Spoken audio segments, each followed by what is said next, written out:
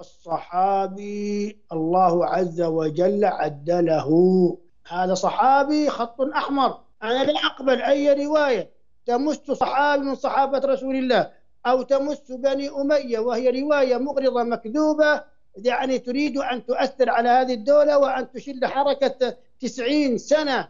حكمت الإسلام والمسلمين وبذلت الغالي والرخيص ودافعت عن دين الله وعن منهج الله ولا نزال إلى يومنا الحالي نتفيأ ظلالها وما قدمته للدولة للأمة الإسلام من خير وعطاء. جناب الشيخ عبد العزيز يقول الصحابة خط أحمر وهو ليس صادق بها معاوية عنده خط أحمر وأن الصحابة كانوا يشربون الخمر.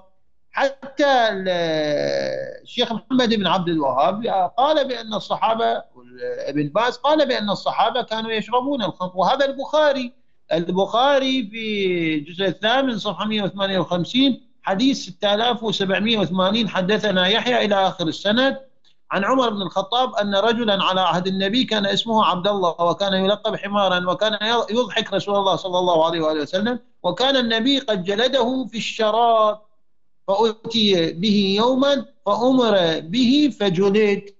يشرب أو خلينا صحابي أبو محجن الثقفي. أيضا أجمعوا على أنه هذا لم يترك الخمر طيلة حياته.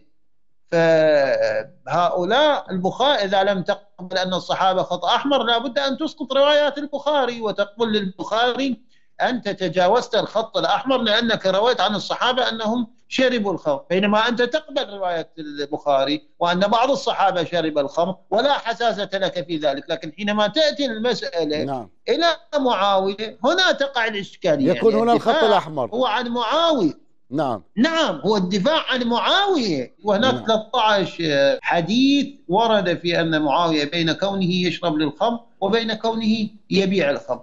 فسيرة معاوية كما وصفها النبي أنه ملك عظوم والملك العظوم يعني المتمسك بالدنيا والذي يقتل الناس والذي يتجاوز الحدود الشرعية من أجل الوصول إلى مبتغاه وإلى آه، سلطانه.